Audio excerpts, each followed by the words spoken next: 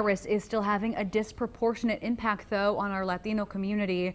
In North Carolina, 42% of identified cases are in Hispanic people. It's about 30% in Mecklenburg County, and 66% of those cases are in people younger than 40. And for months, health officials have done targeted outreach in Hispanic neighborhoods to try and help bring down those numbers. Our Aaron Edwards shows us how that effort continued today. Atrium partnered with Progreso Hispano to give out dozens of packs of these masks to small and medium Hispanic businesses in the Charlotte area.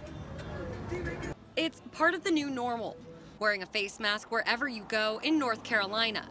And Atrium Health and Progreso Hispano want to make sure every community in Charlotte has masks available to them. The, the smaller businesses sometimes were, were forgotten so this is who we've partnered with, and this is who needs the, uh, the face mask. The event is part of the 2 million mask initiative that Atrium and Mecklenburg County started because of the statewide mandate.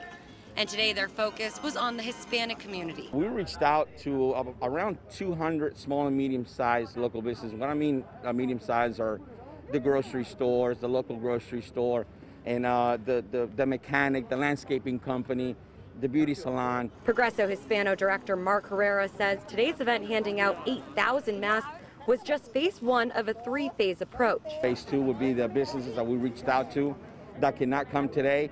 That would be phase two where we're going to go to the businesses and take them the masks. And for phase three, they'll set up at key locations throughout Charlotte where Latino businesses can come and pick up their masks.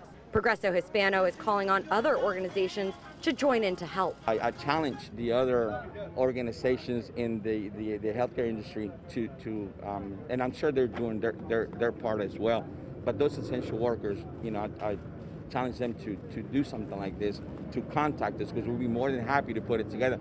The organizer here today tells me they're hoping to set up another similar event in about 10 days.